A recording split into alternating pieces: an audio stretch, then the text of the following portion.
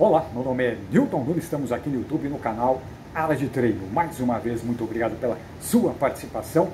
E olha que questão importante aí. Muitas vezes a pessoa acaba engordando e tem algumas dicas que eu vou falar agora para você de como secar como emagrecer, evitar o processo de ganho de peso. Quer saber três dicas para você secar rapidamente, mais rápido que você imagina? Eu vou falar agora para você como emagrecer rapidamente com saúde, em casa mesmo, se for o caso. Mas antes eu vou pedir só a gentileza de você clicar no curtir. Já clicou?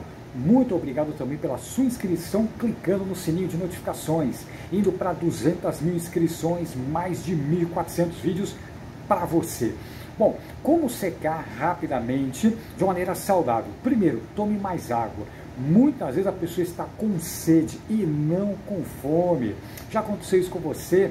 Você está sempre comendo, seu amigo, sua amiga? Não, muitas vezes você está com sede e não com fome. Claro, isso é importante manter a hidratação.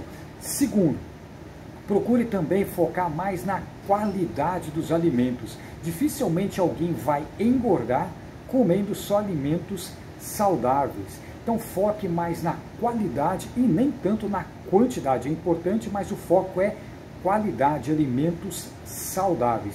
E terceira dica, não fique comendo também de hora em hora, a cada duas horas. Tem pessoas que ficam comendo a cada duas horas. Isso não é bom. Por quê?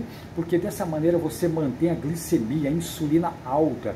Insulina é um hormônio anabólico, lipogênico, vai formar gordura e mantém o que? O GH, que é o hormônio do crescimento, que poderia te auxiliar na queima de gordura, ele vai estar lá embaixo. Toda vez que a insulina aumenta, o GH cai. Então essa história de ter que ficar comendo de hora em hora, cada duas horas ter que comer, pode te prejudicar na redução do seu percentual de gordura.